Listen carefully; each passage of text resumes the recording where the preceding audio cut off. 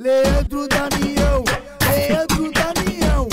Agora aqui no peixe é o Leandro do Peixão. Leandro Damião, Leandro Damião. Agora aqui no peixe é o Leandro do Peixão.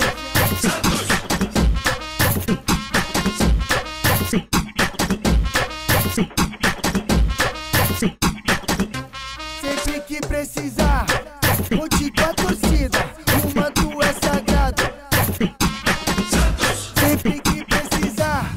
conte com a torcida. Sem dúvida é muito importante, é um jogador bastante midiático, craque da seleção brasileira, uma contratação de peso.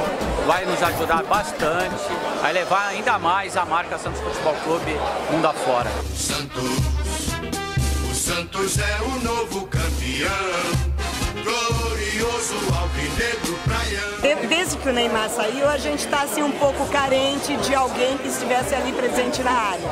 Então eu acredito que com o Leandro Damião a gente vai suprir isso.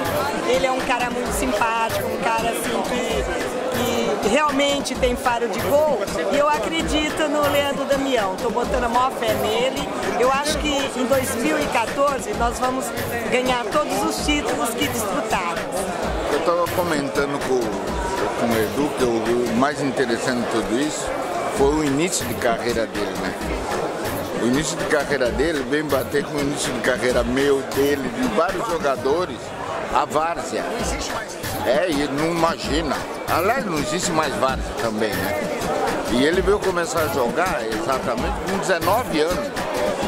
Eu com 19 já estava sendo campeão mundial pelo Santos. É interessante isso aí. É o Santos, o Santos é o novo campeão, glorioso alvinegro praiano, campeão absoluto deste ano. Vou mandar uma pergunta em forma de rap pra você, certo? Damião, explica aí pra Rapa, como é que é vestir essa nove que já foi de Serginho Chulapa?